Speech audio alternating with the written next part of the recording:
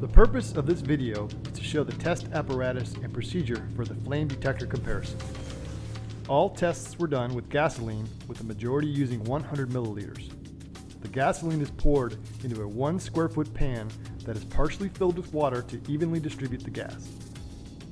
We are able to control the exposure of the fire to the detectors via pneumatically activated door that is remotely controlled. Here is our portable test setup with all detectors mounted by the factory recommended brackets. From left to right, we have Net Safety, Fire Sentry, MSA, Spectrex, and Det-Tronics. Each are tied to a light which activates as soon as the detector sees the fire. Above the row of lights is a mirror which allows us to view exactly what the detectors see. As you can see, 100 milliliters of gas produces a significant fire that should be seen by a flame detector.